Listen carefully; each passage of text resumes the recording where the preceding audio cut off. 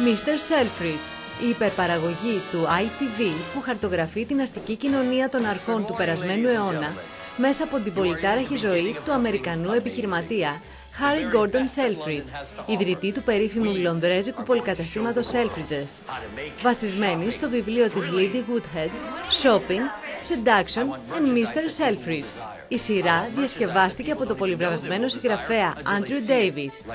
Όλοι αρχίζουν όταν το 1908 ο επιτυχημένος έμπορος από το Σικάγο Harry Selfridge φτάνει στο Λονδίνο με το όνειρο να κατακτήσει την παραδοσιακή αγορά της Oxford Street. Η σειρά έχει μεταδοθεί και μεταδίδεται σε 150 χώρες. Mr. Selfridge, καθημερινά στις 10 στο RIC 1.